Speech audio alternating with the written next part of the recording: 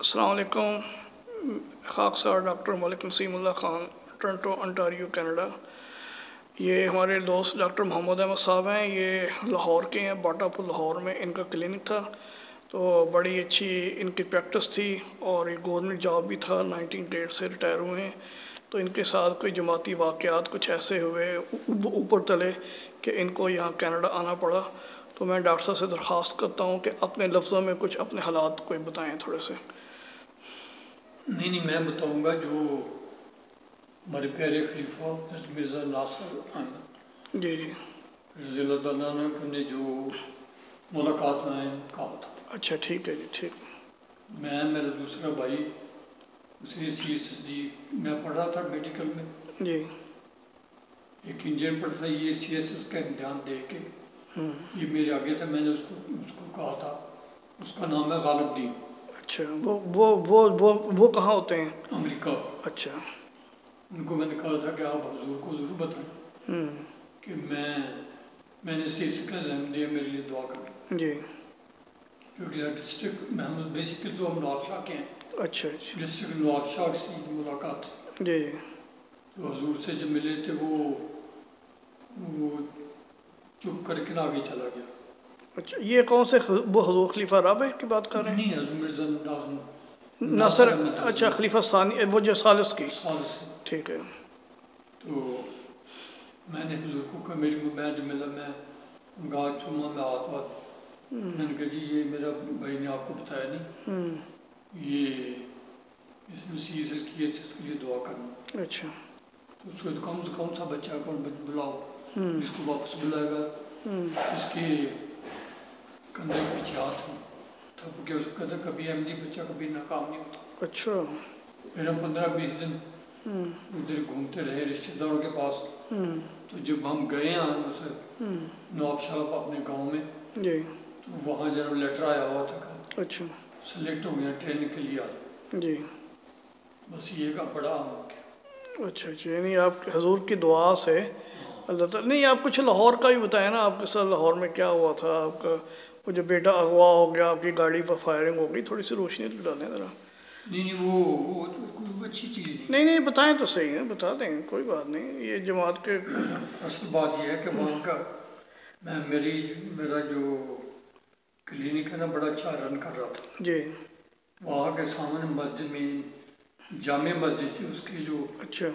मौलवी साहब थे ना हाफिज मोहम्मद यूसुफ। जी। उसको मैंने काबू किया हुआ था। अच्छा।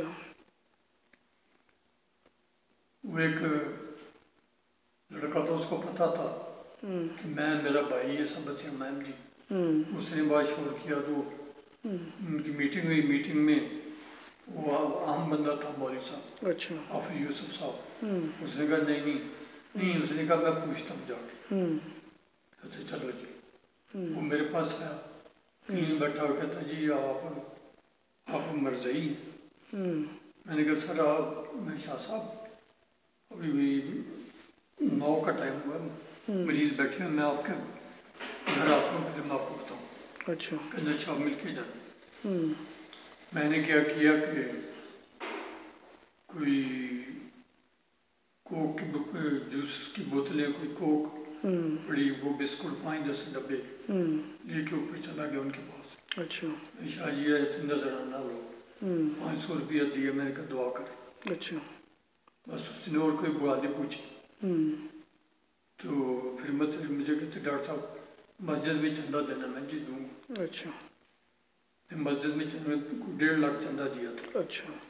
उसकी रसीद भी मिली मुझे। हम्म, ये तो अल्लाह का घर है किसी मस्जिद दे सकते बिल्कुल बिल्कुल। वो फिर मेरा दोस्त बन गया। हम्म, बड़ी बड़ी बड़ी जो नुस्खे थे मुझे पूछता था हम्म, उसके घर की ट्रीटमेंट में फ्री करता था अच्छा। तो उसने मुझे बचाए रखा जब तक वो ज़िंदा था। अच्छा। फिर जिस तरफ़ बहुत हुआ हम्म, फिर वहाँ से भागना अच्छा फिर क्या फिर हालात क्या क्या फिर क्या फिर आपके साथ हुआ? क्या आपके साथ मतलब? क्लिनिक में से मुझे उठा देते थे। पैसे जी छीन के ले आते थे। अच्छा। कोई गाड़ी में फायरिंग बच्चों को के साथ जाती हुई उसको ले गए फिर उसको गाड़ी बेच कर शाह साहब ने मंगाया उसको। अच्छा अच्छा। एक करोड़ मांग रहे थे।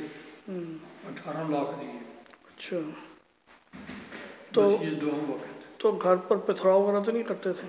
घर में करते थे बदलाव पथराव भी करते थे। मतलब हर वक्त आपकी जान एक सौ की मुट्ठी में रहती थी। कभी ये कहते थे हम इसको आग लगा दें। अच्छा अच्छा अच्छा। यानी हर वक्त आपकी मतलब आपको टेंशन ही रहती थी कि पता नहीं आंदा क्या करें। हाँ अच्छा अच्छा। तो फिर आपने कनाडा के लिए अप्लाई किया तो आपका वीज़ा लग गया तो आप यहाँ आ गए। था अच्छा अच्छा अच्छा। ठीक है। हमारा वीज़ा लग गया कनाडा का। अच्छा अच्छा। एक बेटे का अमेरिका का। अच्छा।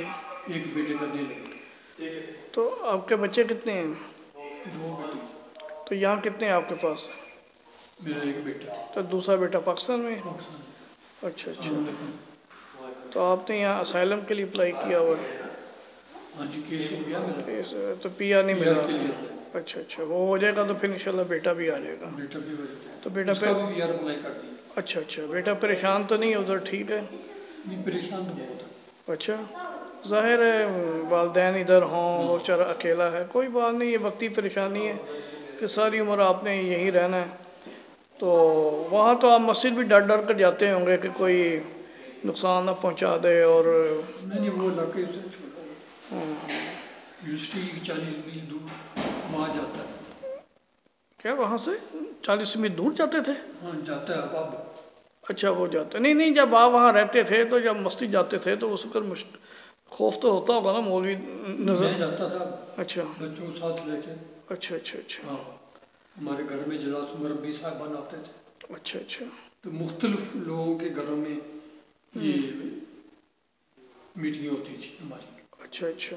मीटिंग जो तकरीबन जमात के लोग अच्छा अच्छा। तो यहाँ पर कनाडा में सुकून है यहाँ पर कोई मसला नहीं मस्जिद आओ जाओ इबादत के लिए। या- तो यहाँ तो कोई रुकावट वगैरह नहीं पैदा करता ना। हाँ सुकून है।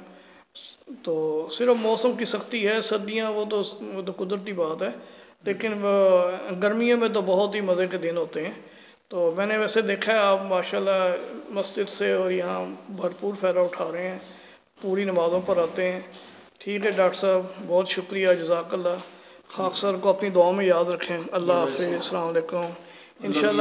दे आमीन। इन- वो जब वो इंशाल्लाह फिर किसी वक्त आपसे दोबारा फिर आपसे कोई कोई और बात पूछेंगे। अल्लाह हाफि वालेकुम।